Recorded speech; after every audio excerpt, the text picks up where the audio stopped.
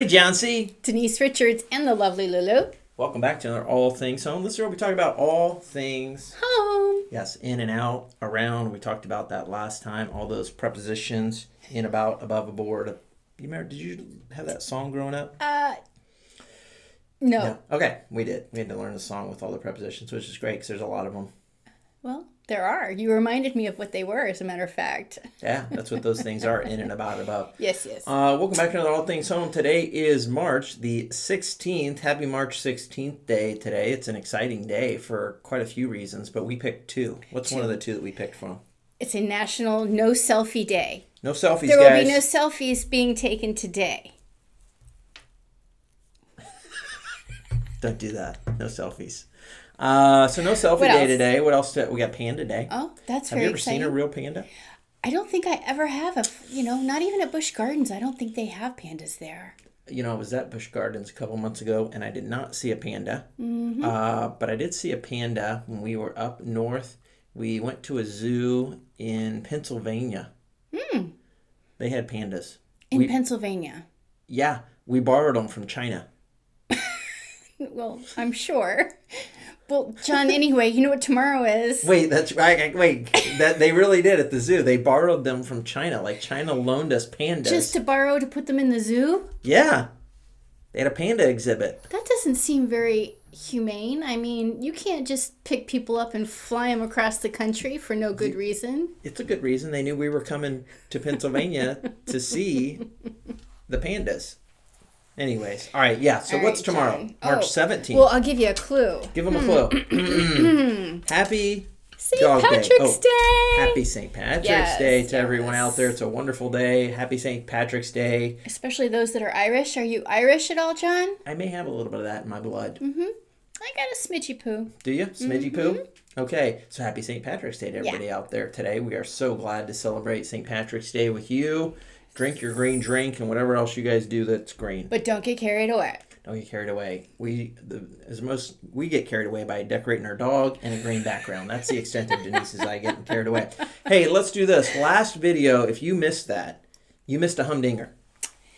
A humdinger. That's a good word. Humdinger. Yes. It's- It was probably one of our best episodes. I think so. So if you miss that, Yeah. watch that. Boom or gloom, the or real gloom. estate housing market. What's going on? That's the question. Are we going to have a boom or are we going to have some gloom? Now, in the last video, we don't do too much on predictions, but we like to use the past. It's called history mm. because it seems to repeat itself. It's also called statistical data. Yes! So we use that on our last video to help you understand if we are in a boom or a gloom. So without giving away the answer, watch that video and you'll see what our thoughts are there. So let's talk though today. Our topic today is about foreign buyers and how they're returning to the U.S. housing market. Does that hmm. affect us here in Southwest Florida at all, you think? I'm sure it must when we are um, experiencing such a housing shortage right now. It's it's definitely got a. Uh, Do we get foreign buyers? oh, we definitely do. Um, Where do they come from? Where's our foreign buyers from? uh, Brazil right now comes Brazil? to top of mind. I know that they're going through a campaign electoral issue there. Uh, Canada for sure. Um, yeah, and, and in the lending world, we call these folks uh, foreign nationals. Foreign they can certainly buy homes here in the United States, and I think some people out there may think that it's hard for them to buy homes here, or there's challenges in them buying homes here. But really, John, Just extra steps, not challenges that's though. it. You help them through those. Now, listen, I'll tell you an embarrassing story for me early on in my real estate career about 12 years ago. This will be good. Oh, it's so embarrassing. Another humdinger. It's a big humdinger. All right, And then. I almost messed up, but I didn't. Thank God for brokers to help you stay on track. So I filled out a contract, and you know, on our contracts here, it talks about uh, is this person a uh, foreign citizen? Mm-hmm. Well, I didn't think my buyer was a foreign citizen uh, because he was from Canada, and I just assumed Canada was the U.S. I just wasn't quite clear on that geographical line. Are you that sure that across. wasn't just early in your real estate career? Maybe not early in elementary school. elementary school, high school, all of those things I dealt with. Okay, let, I didn't get an A in all of those geographic classes, whatever they're called. But anyways, uh, yeah, but Canadians are foreign buyers. I don't know.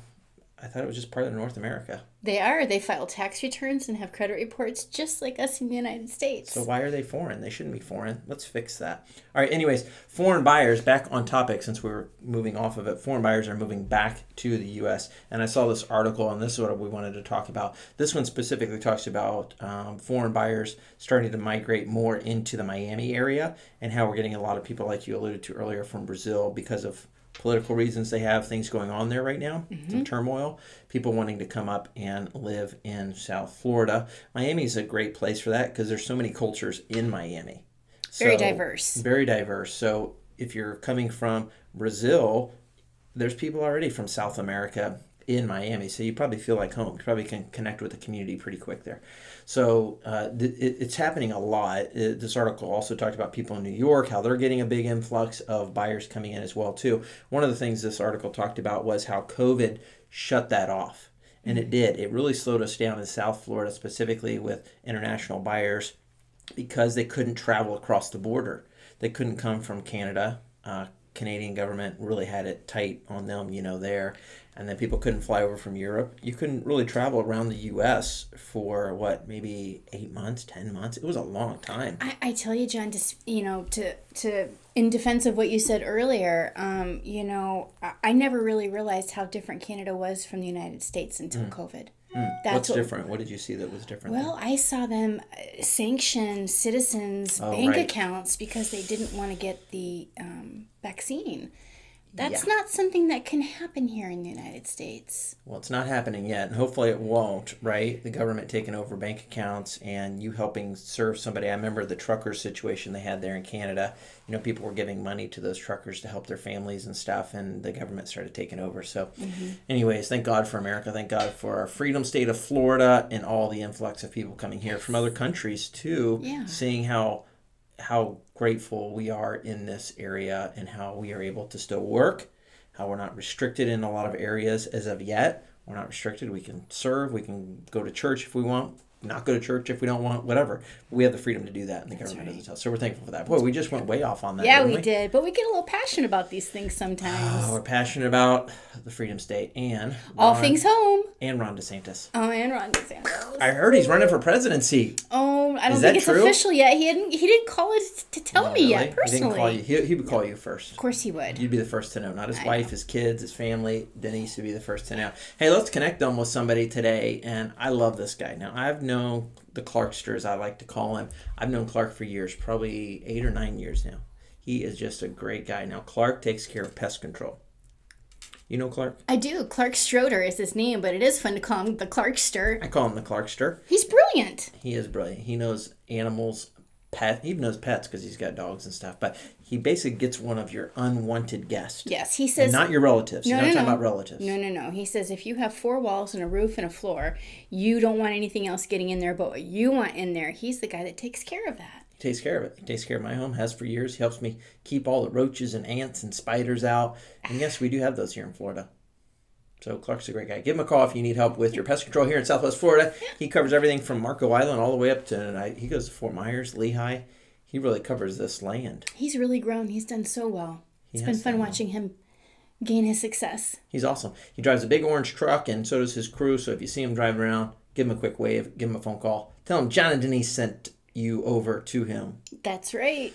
Anything else we want to talk about all things home today? Uh, I think you covered it, John. This was probably our best job. episode so far. Just hit like and subscribe if you would below before you click off this video and go to your next one. We would greatly appreciate it. We are banging close to 400 subscribers. Oh my gosh. I know we had a huge jump over the last couple months. Thanks Do you remember way back in the day when we got real excited about a hundred? 100. We were dying to get 100 and we finally did. Thank you everybody for joining. Thanks for being a part of our channel. Thanks for watching every week, sharing, liking, and thanks for your comments below. Have an awesome week. Bye.